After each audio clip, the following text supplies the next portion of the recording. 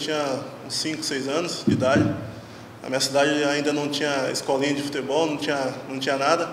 Mas eu sempre brincava com meus primos, com, meus amigos da rua. E sempre gostei, sempre quis isso para minha vida. Eu sempre jogava, depois que começou a ter a escolinha na minha cidade, as outras cidades sempre buscavam eu para jogar para eles, em outros times. E eu vi que, que teria um futuro se eu me dedicasse bastante. Aí foi quando surgiu a oportunidade de, de fazer um teste e, e, deu tudo certo. Depois do, que eu fui para o Fluminense, eu fiquei lá dois anos. É, acabei subindo profissional lá, mas uma infelicidade, tive uma, uma doença no sangue e, e, tive que ficar um ano parado. Não, não voltei à a, a, minha melhor forma para continuar jogando e acabei saindo de lá.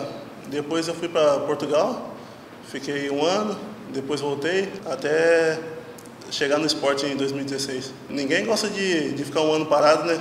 Foi um ano certinho em que eu não podia fazer nada, não podia treinar com meus companheiros, não podia estar fazendo o que eu gosto. E foi bastante difícil, eu tinha que ficar tomando remédio todo dia, corticóide, que era um remédio forte, mas graças a Deus eu tive o apoio da minha família, dos meus amigos, dos meus companheiros que, que jogavam comigo e consegui recuperar bem. Quando eu fui para Portugal na primeira passagem lá, eu era muito novo ainda, tinha 21 anos, mas foi, foi um bom aprendizado. Eu consegui ter uma sequência de jogos lá. Né? Na segunda, segunda divisão, segunda liga que eles falam, mas eu consegui fazer quase 50 jogos no, no ano. Foi, foi bem produtivo, foi, foi bom. O Fred é um cara já mais experiente, né? passou por grandes clubes, grandes equipes. E a gente deu bem jogando lá, a gente fez uma boa parceria, uma boa amizade também. Ele me liga direto aqui agora para saber como que tá também, se estou gostando, se estou me adaptando, né? Se Deus quiser, uma parceria boa novamente. Ah, eu espero que, que seja um ano feliz para nós todos, né? A torcida é uma torcida de massa, uma torcida que é bastante apaixonada, que vai dar o apoio necessário, vai cobrar quando tem que cobrar.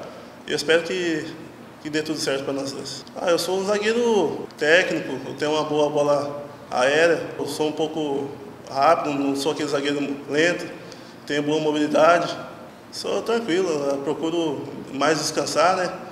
Às vezes saio com, com, com, a família e tudo, mas eu sou isso, fico em casa, fico descansando. Aqui no, no Botafogo eles dão uma estrutura boa, dá o, o necessário para o atleta render bem dentro de campo e tudo, e está sendo bom essa experiência. Eu espero que a gente consiga o, o principal objetivo desse ano, né?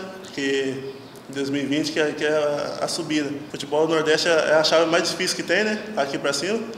E espero que seja, vai, vai ser duro a competição, mas esperamos subir e, e conseguir o objetivo. Sim, desafio que até quando eu cheguei no, no meu apartamento, o porteiro já é Botafogo, né?